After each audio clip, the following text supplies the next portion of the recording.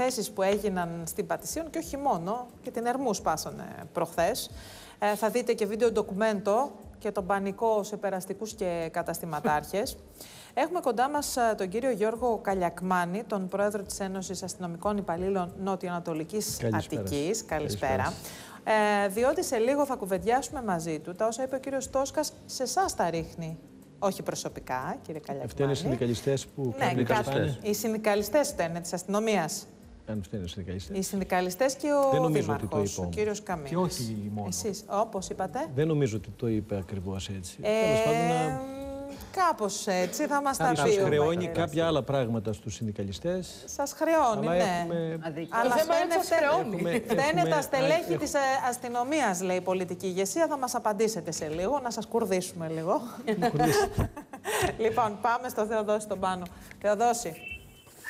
Ε, καλό μεσημέρι και σε εσάς ε, και στους τηλεθεατές μας. Καταρχήν να ξεκινήσουμε με ένα στατιστικό στοιχείο το οποίο νομίζω κατά την άποψή μου ότι θα βοηθήσει στη συνέχεια στην ε, κουβέντα μας. Μέσα σε μία εβδομάδα, σκάρτη εβδομάδα και με φόντο το κίνημα με άνευ εισαγωγικών που έχει αναπτυχθεί για την μεταφορά του 29χρονου που είχε στείλει το τρομοδέμα στον κύριο Λουκά Παπαδήμου από την Λάρισα στον Κορυδαλό.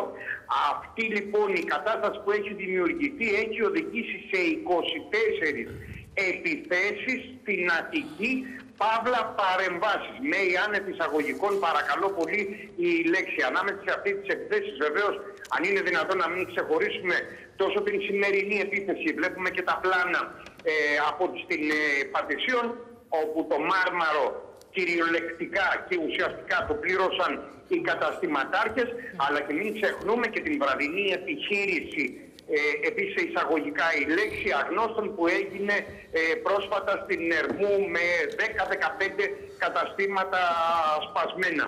Και όλα αυτά να έχουμε και παρεμβάσεις από διάφορες ομάδες ε, έξω από σπίτια αξιωματούχων, χωρίς όμως βέβαια να προκαλούνται ε, φθορές κατά την άποψή μου.